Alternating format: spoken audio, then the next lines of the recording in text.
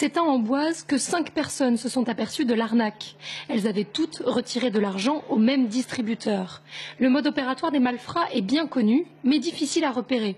Ils fixent une façade factice sur le distributeur de billets qui leur permet de copier la bande magnétique de la carte bancaire et de filmer le code confidentiel. Vous pouvez donc repartir avec votre carte et vos billets sans vous apercevoir de la manœuvre. Le malfaiteur peut quant à lui retirer de l'argent sur votre compte avec une fausse carte sur laquelle il aura copié votre bande magnétique. Le préjudice pour les victimes va de quelques dizaines à des centaines d'euros. Surveillez donc vos comptes. Si quelque chose vous semble suspect, il est possible que vous soyez victime d'escroquerie à la carte bancaire. Il y a 200 000 foyers voisins vigilants en France. En vous connectant sur voisinvigilant.org, vérifiez si une communauté de voisins vigilants existe près de chez vous.